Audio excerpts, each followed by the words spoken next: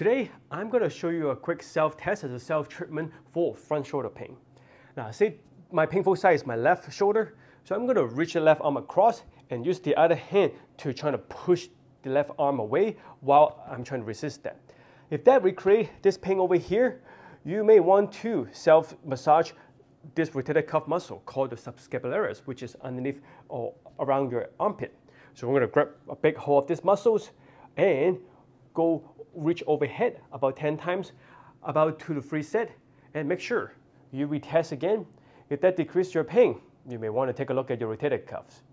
As usual, if you find this video helpful, we really appreciate if you can share it with your friends, especially your friends who complain about front shoulder pain.